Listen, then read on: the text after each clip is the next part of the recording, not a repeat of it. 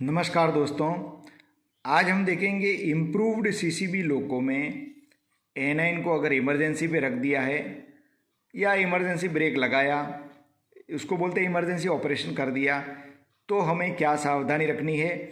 और दूसरा देखेंगे आरएस खोल दिया अलार्म चैन पुलिंग हो गया, या किसी अन्य कारण से बीपी प्रेशर ड्रॉप हुआ। अन्य कारण कुछ भी हो सकता है पाइप फट गया हो या ट्रेन पार्टिंग हो गया, जो भी हुआ हो बीपी प्रेशर ड्रॉप हुआ। तो इन तीनों का एक ही चीज़ कहा जाएगा। तो ये होने पर हमें इम्प्रूव्ड सीसी वाले लोगों में क्या करना है ताकि फेलियर नहीं हो? ये बहुत ध्यान देने वाली बात है क्योंकि इसमें ही फेलियर पैदा हो जाता है। इसलिए ध्यानपूर्वक इसको याद कर लेना चाहिए। और और भी दूसरे वीडियो देखने के लिए आप चैनल पे जाइए। चैनल पे जाके प्लेलिस्ट में जाइए। और प्लेलिस्ट में जो भी वीडियो आपको देखना हो दे सकते हैं। और दोस्तों ऑडियो की खबरी ऐप को फॉलो करना ना भूलें। उसमें बहुत ही अच्छे अच्छे ऑडियो हैं। तो आइए देखते हैं इम्प्रूव्ड सीसीबी लोको में। ए नाइन से आपने इमरजेंसी ब्रेक लगा दिया तो अब क्या करना है? अब जब आपने ए नाइन को इमरजेंसी पे लगाया तो बीपी ज़ीरो हो जाएगा। ठीक है? अब बीपी तो ज़ीरो हो गया। अब क्या है कि वहाँ पे जो डिस्प्ले स्क्रीन है वहाँ में, जो ई e की डिस्प्ले स्क्रीन है, वह मैसेज आएगा ऑपरेटर इमरजेंसी प्लीज़ वेट क्या आएगा? ऑपरेटर इमरजेंसी प्लीज़ वेट वो बोलेगा वेट करो. यानी कि ऐसा क्यों बोल रहा है? क्योंकि हो सकता है आप उसको इमरजेंसी पे रख के वापस नॉर्मल रन पे रख दो।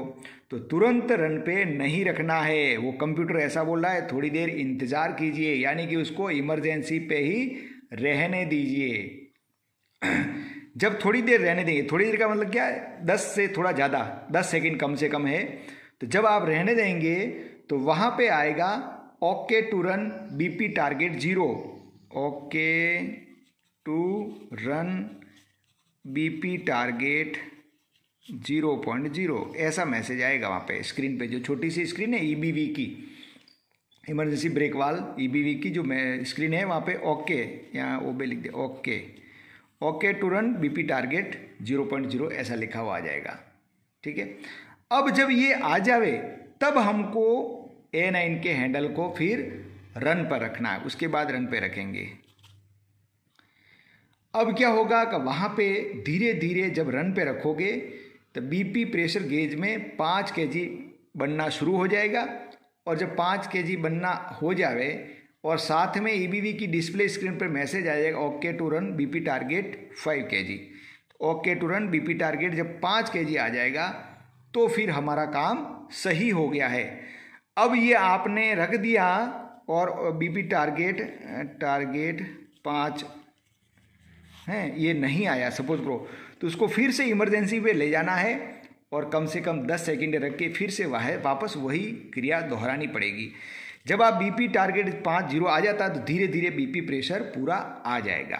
तो जब भी आप ए नाइन से इमरजेंसी ऑपरेशन करते हो तो ये वाला तरीका पूरा का पूरा आपको करना चाहिए। अगर ये नहीं करोगे तो ये होगा अरे यार बीपी प्रेशर नहीं बन रहा बीपी प्रेशर नहीं बन रहा और फेलियर हो जाएगा।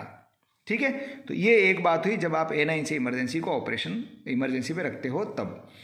दूसरी बात रहती है जब कभी आर एस वाल खोला है अलार्म चैन पुलिंग हो गया है या किसी अन्य कारण से बीपी प्रेशर ड्रॉप हुआ है तो क्या करना है? तो जब भी ऐसा होता है तो यहाँ भी बीपी प्रेशर ज़ीरो हो जाएगा। ठीक है? या ज़ीरो भी नहीं भी हुआ तो भी इसको ज़ीरो की तरफ़ वो बढ़ रहा है, कहने का मतलब कम हो गया। तो ईबीवी की डिस्प्ले स्क्रीन पर मैसेज क्या जाएगा? जब अपने आप बीपी प्रेशर ड्रॉप होगा ना, तब अलग मैसेज आएगा। ट्रेन लाइन ट्रेन लाइन, यानी कि पीछे से कहीं से बीपी, इसको आरएस को भी पीछे का ही मानते हैं, क्योंकि वो डायरेक्ट बीपी पाइप से जुड़ा हुआ है। तो train line emergency emergency train line emergency, put auto in emergency, put auto in emergency. यानी कि आप ए नाइन के हैंडल को इमरजेंसी पे रखो, कंप्यूटर ऐसा बोल रहा है ट्रेन लाइन ट्रेन की लाइन में कहीं न कहीं इमरजेंसी हुई है, बीपी प्रेशर ड्रॉप हुआ है, इसलिए आप क्या करो इस हैंडल को इमरजेंसी पर रख दो। अब यहाँ पे इमरजेंसी पेनाल्टी को रिसेट करना है तो हमको क्या करना पड़ेगा? इसको ऑटो पे रख के 10 सेकंड तक वहाँ पर रखना पड़ेगा। जब आप 10 सेकंड तक वहाँ पे रखोगे, कम से कम 10 सेकंड है 10-15 सेकंड भी रख सकते हैं। उसके बाद एक मैसेज आएगा, जो मैसेज हमने यहाँ पे देखा था ना, बीपी वो okay to run BP target zero पर यहाँ भी आएगा। Okay. To run BP target zero point zero ये मैसेज आ जाता है, तब हम ऑटो ब्रेक हैंडल को रन पे लाएँगे। जब ये मैसेज आ जाए, तब हम रन पे लाएँगे। और रन पे लाने के बाद में okay to run BP target पाँच के का मैसेज आ जाएगा। ये भी लिख देता हूँ okay to run BP target five point zero जब ये मैसेज आ जाएगा तो बीपी प्रेशर धीरे धीरे बनना वापस स्टार्ट हो जाएगा।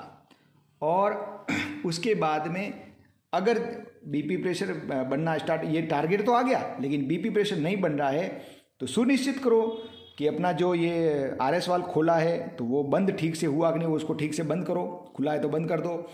और एस हुई है तो उसको रिसेट करो। या किसी अन्य कारण से बीपी प्रेशर ड्रॉप हुआ है तो उसको अटेंड करेंगे।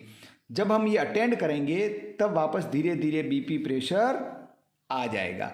ये मैसेज सिर्फ़ टारगेट का आया कि भाई इतना टारगेट है, आपको बीपी प्रेशर अब लाना है। लेकिन ये तीनों मैसेज जो चीज़ हुई है, उसको अटेंड करेंगे, तब ये प्रेशर वापस पाँच के जी आ जाएगा, गाड़ी रिलीज़ होगी, उसके बाद में वापस चला सकते हैं। तो ये आज हमने देखा कि इम्प्रूव्ड सीसीबी वाले लोगों में ए नाइन से इमरजेंसी लगाने पर क्या करना है? और पीछे ट्रेन पार्टिंग हो गया एस हो गया या आर एस वाल खोल दिया तो आगे आपको क्या कार्रवाई करनी है? यहाँ पे खेल पूरा का पूरा ए नाइन के हैंडल का ही है। उसको अगर आपने इस विधि से नहीं रखा तो बीपी प्रेशर नहीं बनेगा और लोगों के फेल होने का चांसेस बना रहेगा।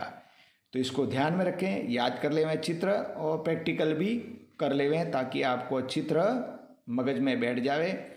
धन्यवाद दोस्तों, ये वीडियो आपको कैसा लगा कमेंट करके अवश्य बताएँ ताकि मैं और भी इस तरह के वीडियो बनाता रहूँ।